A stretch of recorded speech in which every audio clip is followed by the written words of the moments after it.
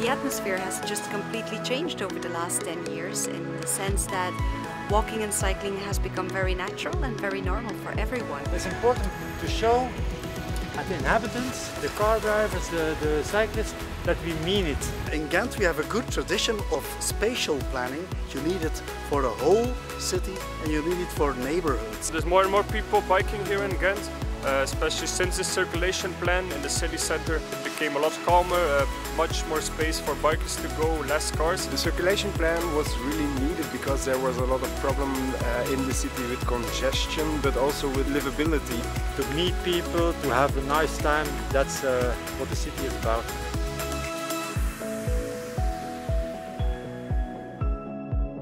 The circulation plan is very important for Ghent, very important for life quality. We have an, an area where there are seven parts.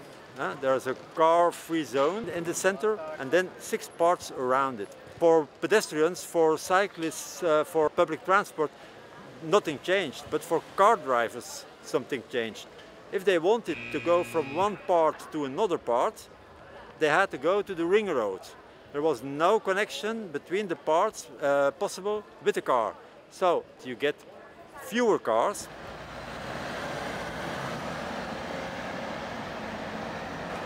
We are here at the R40, as we called it in Ghent, uh, which is the inner ringway. If you have to go from one section to another section, you have to pass via this uh, ringway.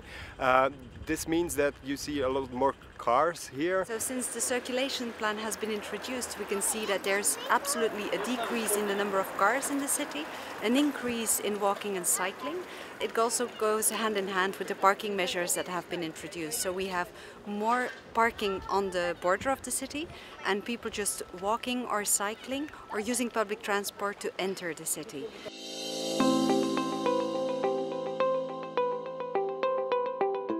Circulation plan was actually part of the mobility plan that also included the parking plan, a plan to enroll a cycling network in the city of Ghent.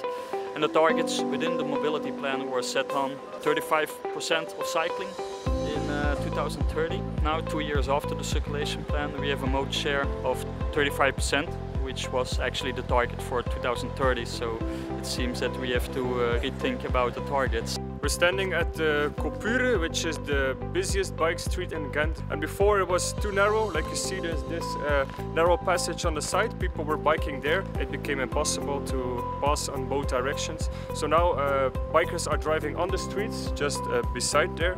Uh, and they've got the whole street for them. It became a bicycle street by law also, which means cars can't overtake bikers anymore. So they have the whole space of the street uh, just for them. Uh, speed limit is 30 kilometers an hour here.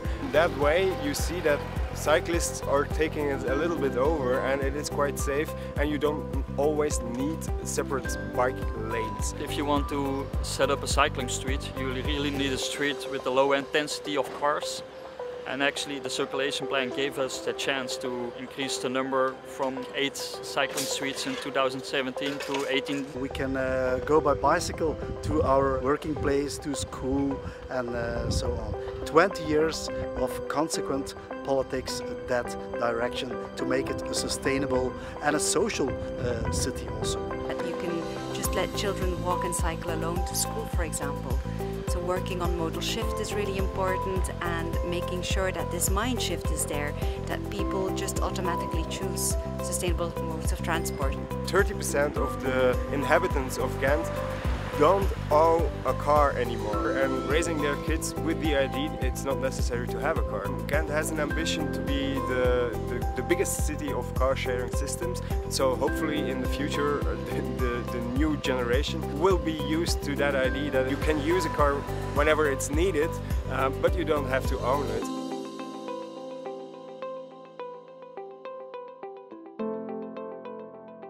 We have many rivers in, in Ghent. And in, in, the 60s, they filled up the rivers to get parking spaces for cars. One year ago, this was still a parking for cars. And uh, we reopened the, the river. We, this is important that, uh, that we, we give water a place in, in the city. If you get parking spaces away, it's always a battle for people who are uh, parking, it's also it's always very important they have their space. But what is uh, amazing is that the moment the parking spaces are away, the city is still living and everything is still working. This is a new piece of infrastructure to uh, get cyclists and pedestrians on a safe uh, manner uh, to the city center because it was very hard for, for people who are living at the eastern side of uh, the city to get in the center and now with uh, this underpass it's possible to get in the center on a safe manner.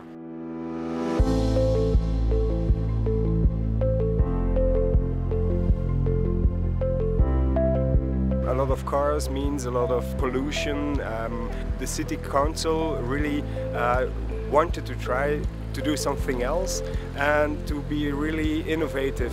For me, Utrecht and uh, Groningen are um, example cities, iconic cities for pedestrians and, uh, and cyclists.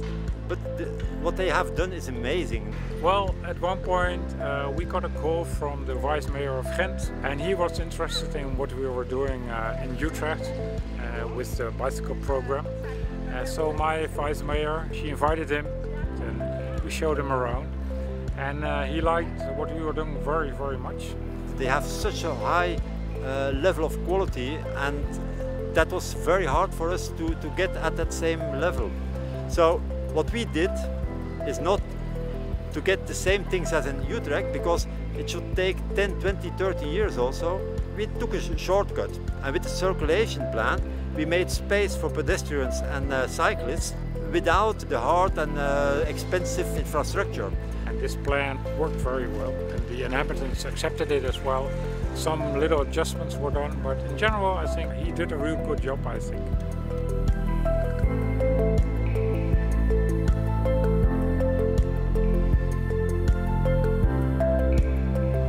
So here at one of the places where they cut the street in two. Before this used to be a road where you could go in both directions with a car. Now you can't anymore. With a bike you can still pass and there's also still space for the buses and taxi drivers uh, to go over this bridge but normal cars can't go anymore. They use cameras here. The camera reads the license plate of the car and then they get a fine afterwards if they did cross. So they place these things here, these planters, these benches so people can sit here but also to show that it is not longer a road where cars can pass in both directions to make it a sign like here you have to stop and have to turn around or go another way. Here this is one of the most important cuts we made.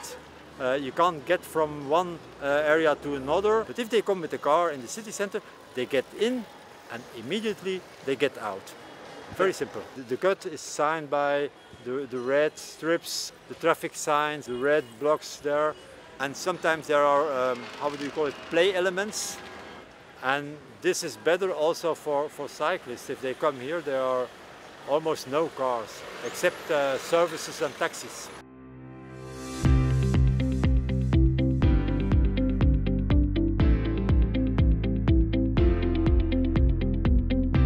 All that period, two and a half years, there was uh, much debate and a very rough debate. I had some death threats, so this was not not uh, not easy for me. The first day when the circulation plan went live, uh, there was national media coverage and they all went uh, to Ghent to see will it work. There was a lot of commotion in the city about what would happen. Uh, a lot of people thought Ghent would die, nobody would come to Ghent anymore, all the shops would have to close. A lot of people, even Dutch people, told me, well, the plan that you're going to implement, that's political suicide one year before the elections. You can't do that. They really went with a very negative image. It won't work, guys, you see, we're gonna say it won't work. But the truth was, it really went very smooth.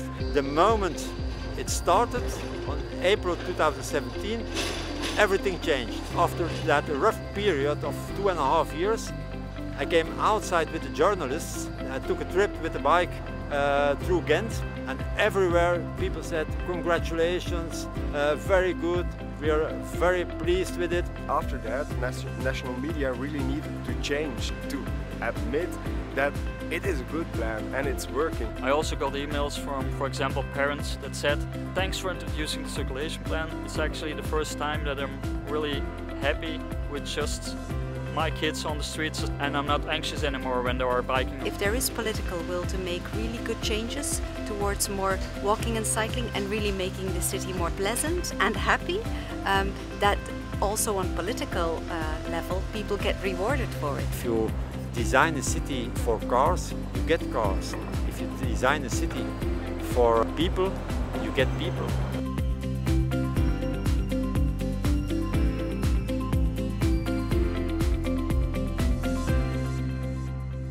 Earlier times, this was a street full of cars. It was a very popular street for car drivers. And what we will do is uh, to expand the park just to the front of the water. Be next time you come to Ghent, there will be no street anymore. There will be a park and, and the water. So and that's quality, to get public space for people, water, green,